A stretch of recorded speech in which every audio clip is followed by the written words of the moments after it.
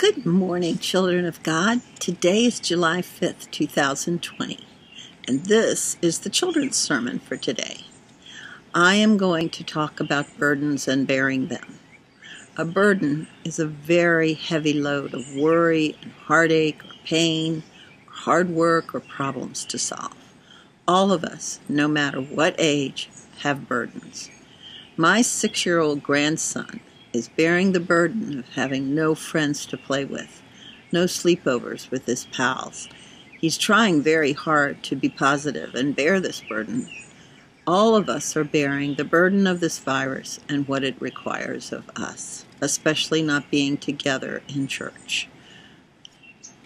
In Jesus' day, 2,000 years ago, oxen were yoked together to carry heavy loads of rocks and crops and things that we would put on trucks today.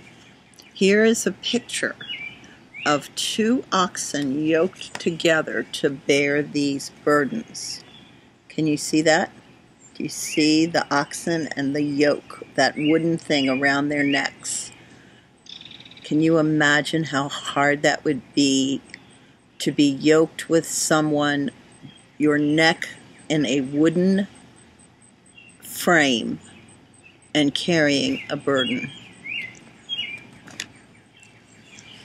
You know that Jesus taught people by telling them stories and giving them images of real life for connecting to their own lives. Jesus said this about bearing burdens. Matthew 11, 28 to 30. Come unto me, all that labor and are heavy laden, and I will give you rest. Take my yoke upon you, and learn of me, for I am gentle and lowly in heart, and ye shall find rest unto your souls. For my yoke is easy, and my burden is light. Try this for the week. Pretend that you are pulling your burden as oxen did. But instead of another oxen next to you, you have Jesus helping you with your burden.